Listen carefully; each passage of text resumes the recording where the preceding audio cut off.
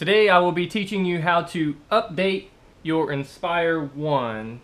First thing you need to do is take it out of travel mode.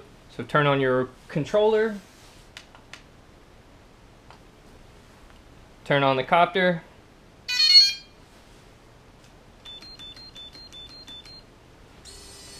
take it out of travel mode, and now turn the copter off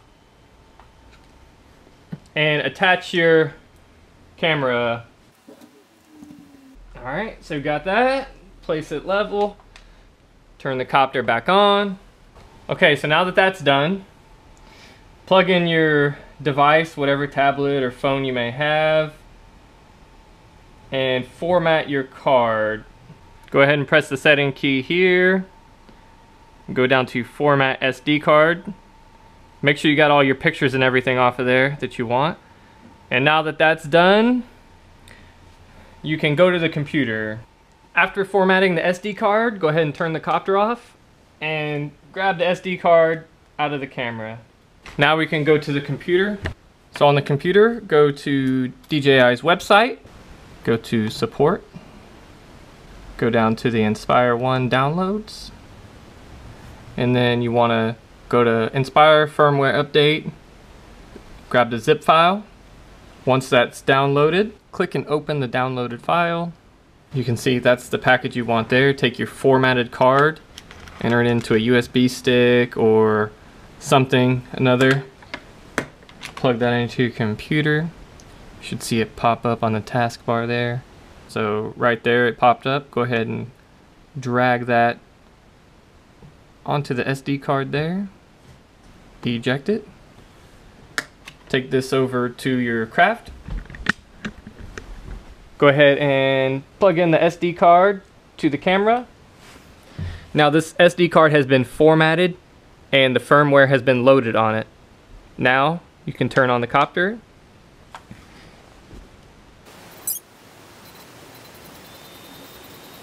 And you can hear it making that noise, letting you know it's updating.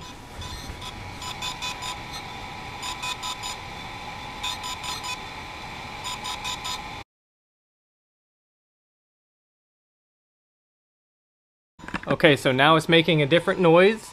Took about five, six minutes almost because I started the timer a little late. Hear this noise? It's going dun dun dun. So that means it's done.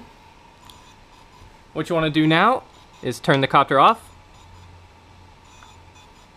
Go ahead and remove your SD card. Put it into your thing here. You're going to need something for the SD card and a USB port now the controller is off. Plug the USB in there with the firmware on here and turn your controller on. Red light. Gonna have to wait a second. See, after a few seconds, that turns blue, and now we will time that.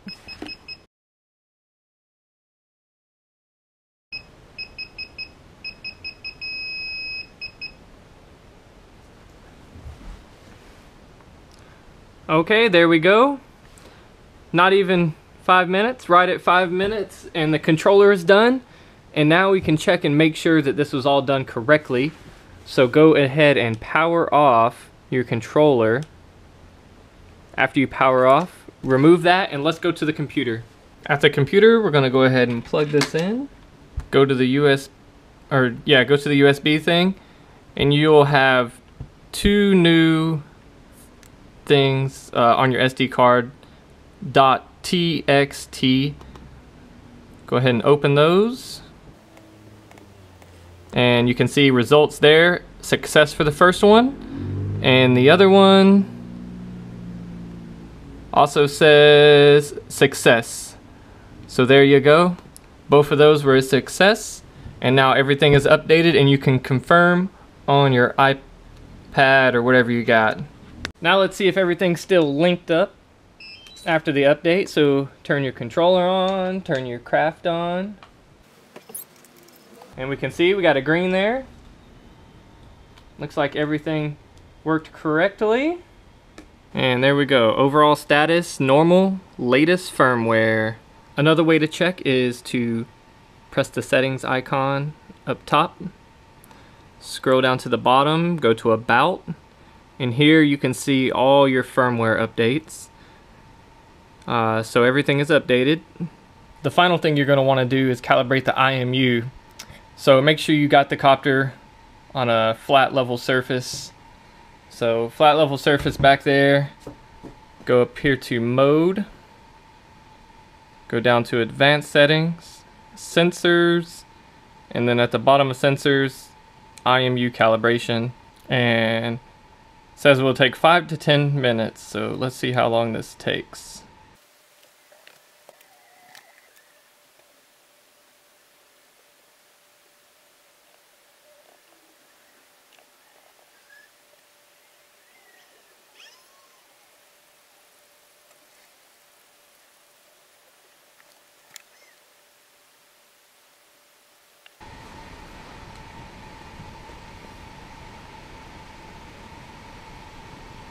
Now everything is updated, so get out there and fly.